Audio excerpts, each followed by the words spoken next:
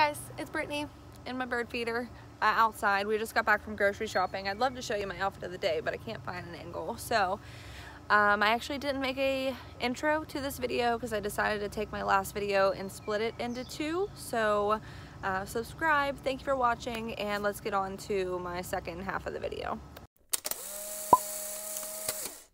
We did go to our all-town yard sale yesterday and I found a Shark, it's actually over there, a Shark robot vacuum for $10 from um, the mother of one of my friends from high school. So I bought it. Um, I know using a used vacuum from someone else's house, it definitely sounds a little bit gross, but I know I grew up at her house often. I know her mom was very clean. Um, so I was very comfortable with buying a vacuum from her. And so I did. I did buy it.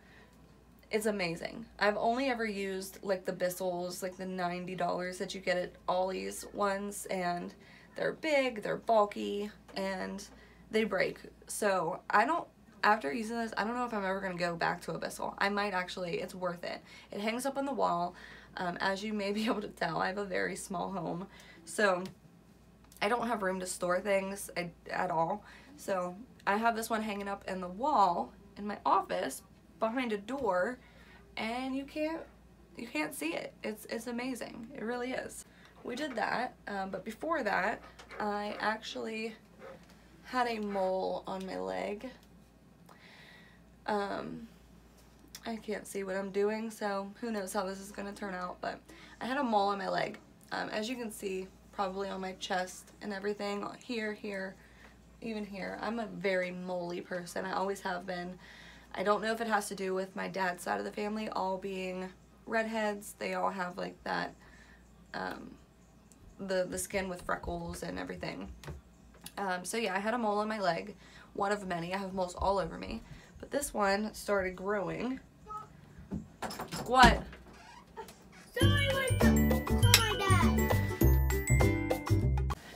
So this actually became one of the reasons why I figured it would be nice to make just a quick little video. I'm hoping this ends up being quick.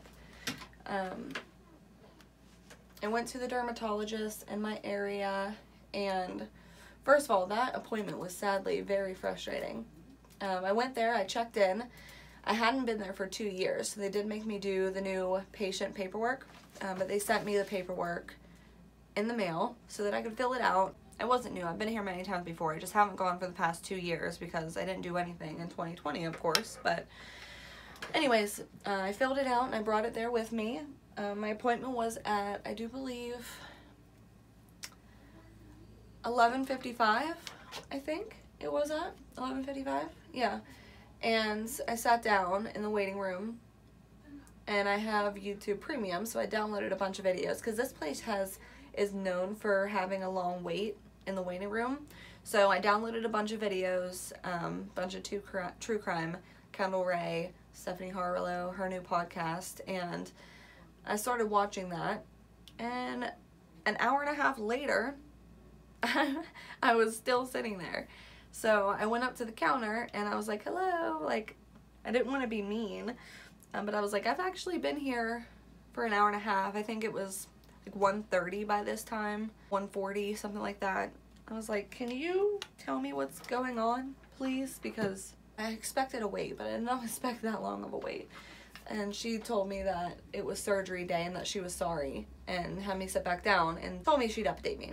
And about 10 minutes later, they did call me back. And um, I did mention to the doctor, I was like, it is a little much to have a patient waiting for an hour and a half in the waiting room. Like, I don't want to be rude. And he was like, oh no, I'm sorry. Maybe you just took too long to fill out your paperwork. And that I was like, I brought my paperwork with me. It was filled out and I just handed it to her. So I was literally waiting doing nothing. Um, but anyways, um, he did end up looking at the mole on my leg and um, he wanted to schedule to get it removed immediately. So whatever he saw was not good. But I had the day planned to where I would be home by 2 so that I could get my son off of the bus because he actually went to the optional summer school and the bus took him there to and from. And um, so I told him it's it's 1:45. Like I don't have time for you to remove this from my leg today. I'm sorry.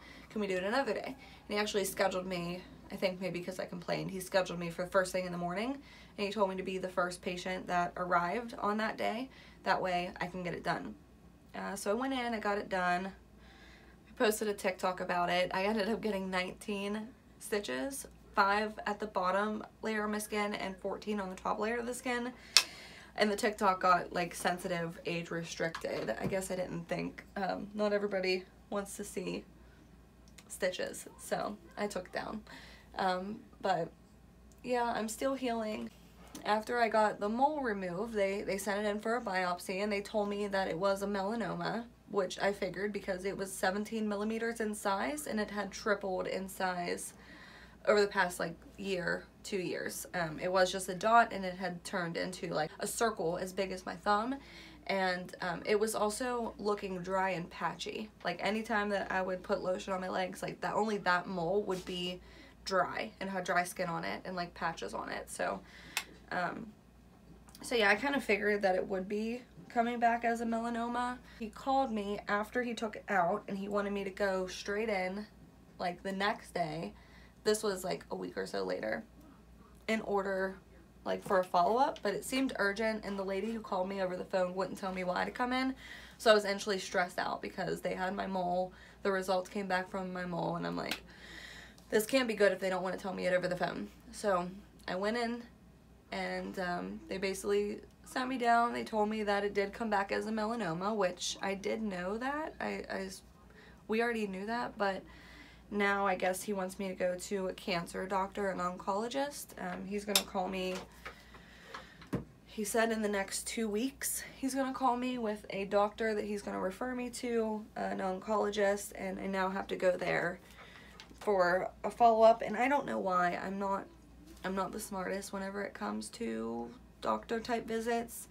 That's a story for another day, but yeah, so I'm, I've definitely been stressed out about that, hoping that I'm okay. Um, I, I'm sure that I will be. He said that we caught it early, and he also said that the results showed that he took everything out. So, um, yeah, I'm just trying to stay in good good graces trying to stay in good vibes, good hopes in my mind. I just want to make sure that I am healthy, so I'm definitely going to go to that appointment and we'll see we'll see what happens. Oh, it's hard to get this piece. Um, yeah, we'll see what happens from there. So, I'm going to go ahead and finish up my hair and then quickly, and then we'll we'll wrap this up for today. That's pretty much all that I wanted to talk about. I just wanted to post something. Something's better than nothing, so I'll be right back. Okay, so that is the hair done. And yeah, the Wave Affair is still definitely my favorite, but uh, since I do have both, it's fun to alter them uh, whenever I want to, but I have been trying to stay away from the internet as far as Googling like what's going on with my leg. I'm just going to wait to go to the doctor and see what happens from there. So, um, if anybody does watch this, thank you. I do appreciate it please like, subscribe, comment, and um, follow me on Instagram. It's bgroover underscore exo. Again, I'll add that. And yeah, thank you for watching if you did watch, and I hope you guys have a really nice day. Bye!